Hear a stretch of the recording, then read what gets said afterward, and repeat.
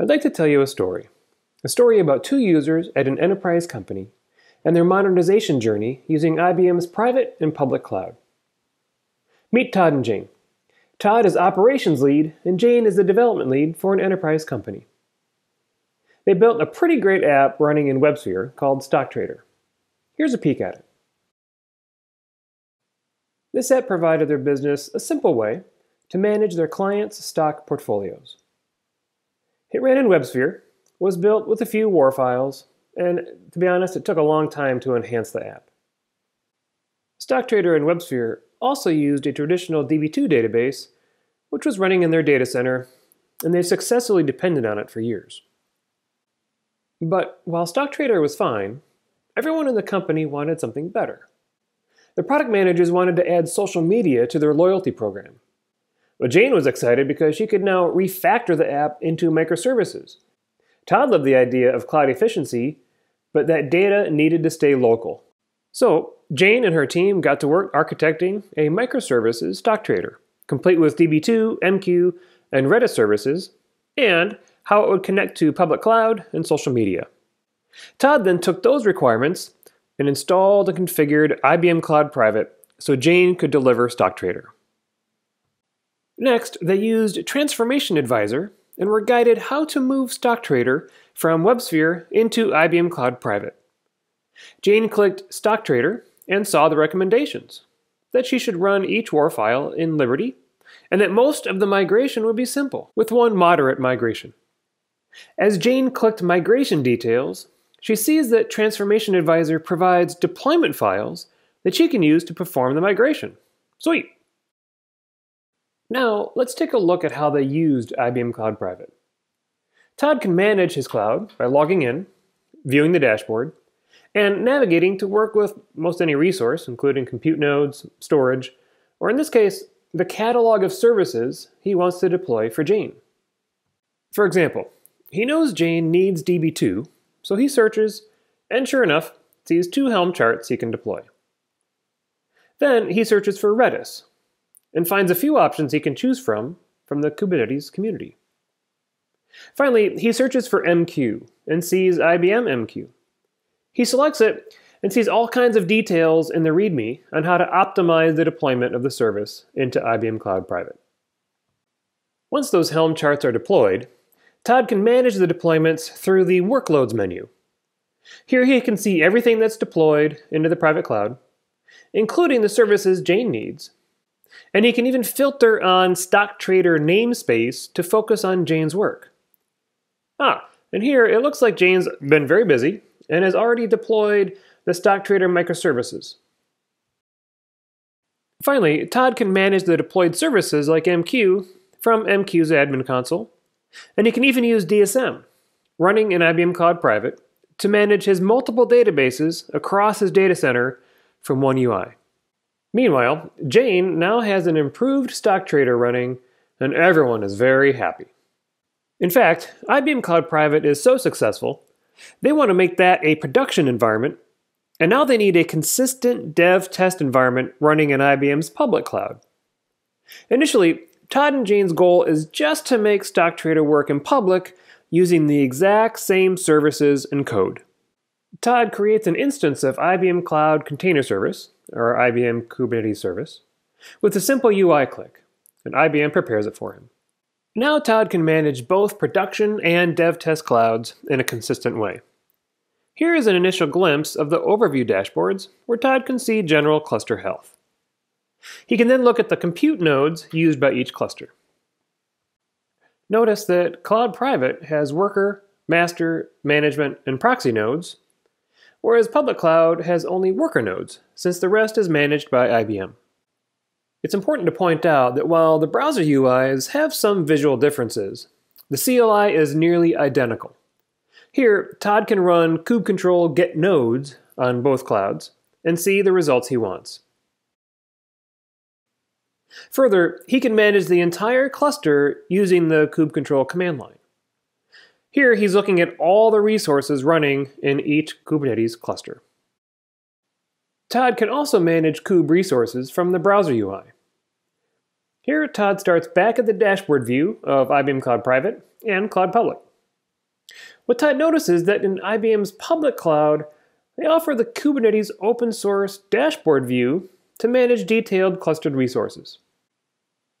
Here, he can view the deployments across the cluster and even filter based on namespace, just like he did in Cloud Private.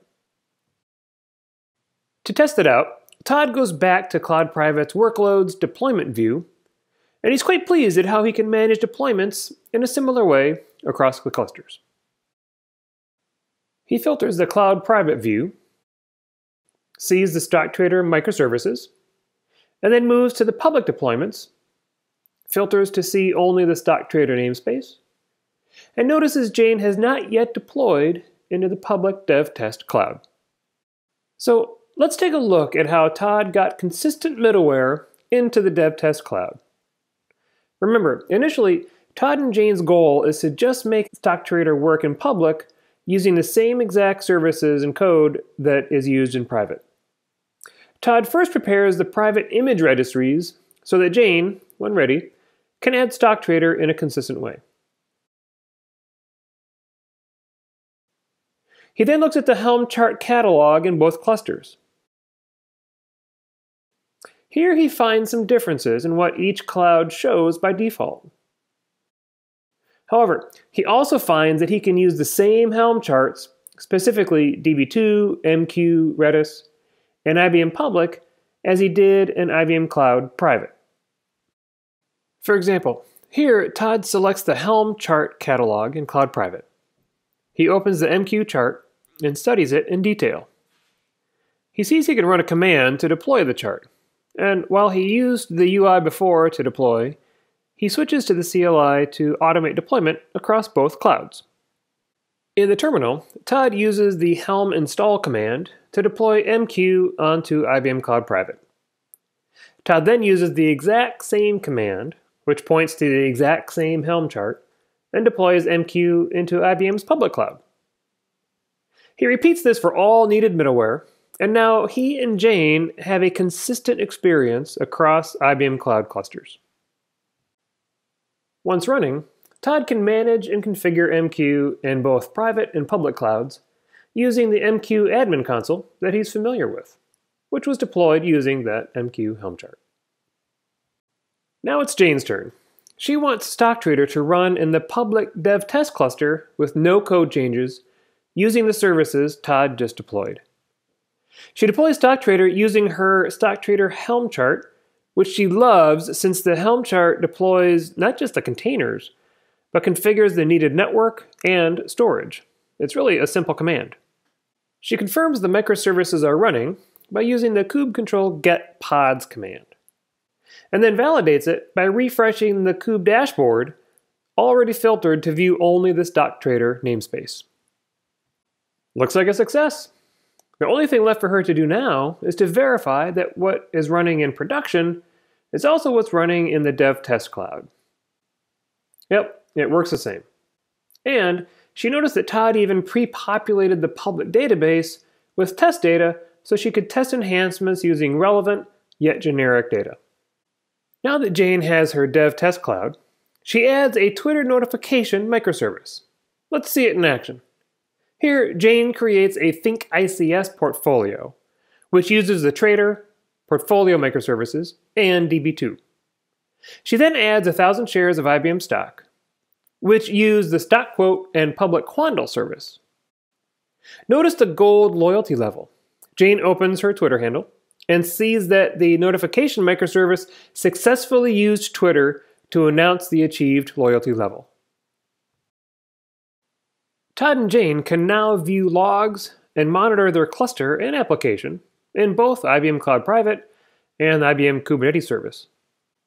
For example, Jane first wants to view logs put out in her production and test clouds. She opens logging in both clusters and sees that the Kibana dashboard is used across both. Jane adds columns of interest into Cloud Private's logging view, including container name and log message. She then does the same thing for her public development cloud.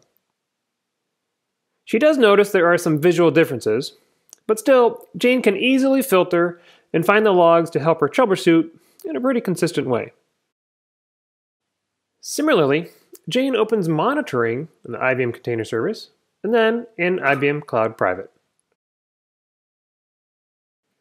In Cloud Private, she can view a number of dashboards to help her troubleshoot.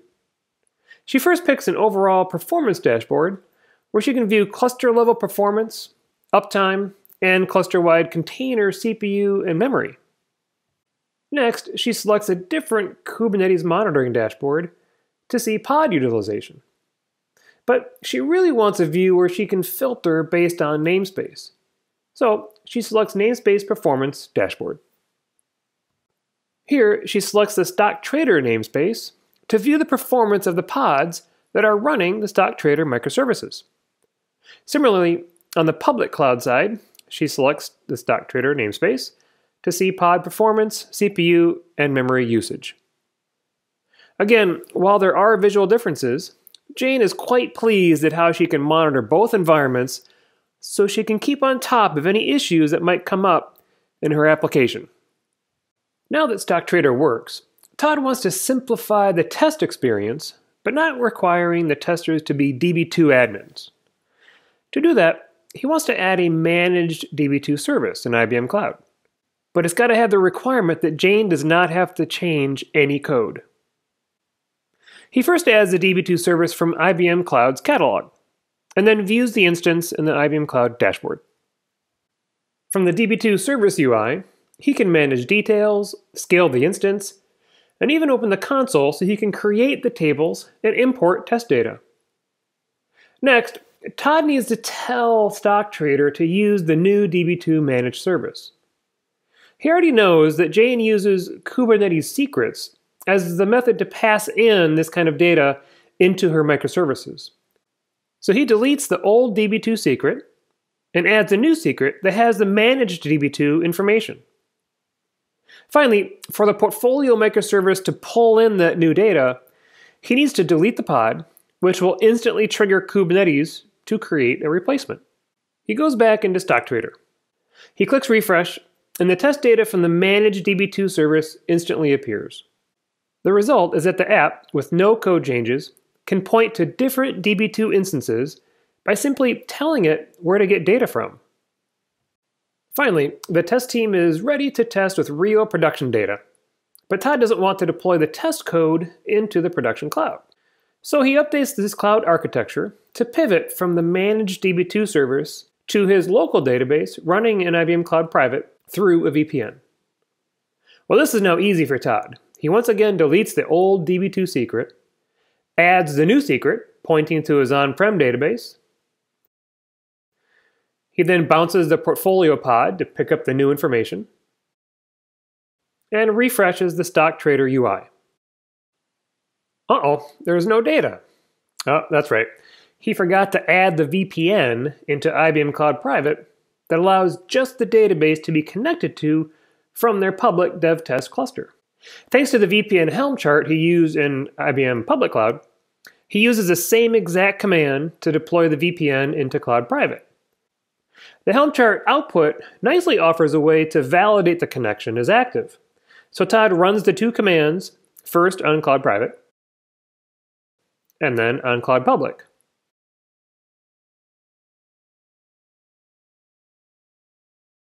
And as you see, the numbers are identical. Todd is now ready to do a final verification. He goes back to the StockTrader UI in private and public, and refreshes the public StockTrader UI. As expected, the UIs now show data from the same local database, even though the public cluster is running dev test code and the private cluster is running production code. As a final test, Todd creates a portfolio called Think Local from Public from the public StockTrader UI, and then he buys IBM stock.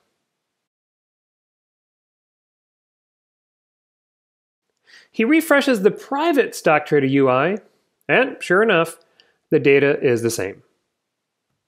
Finally, Todd opens the Twitter account and confirms that the change in loyalty level triggered a Twitter announcement using that local data. Of course, at some point, Todd could also pivot yet again to use his tried and true DB2 running in his data center from both his private and public clusters. As you can see, the cloud journey that Todd and Jane traveled was filled with consistent experiences across IBM's private and public cloud.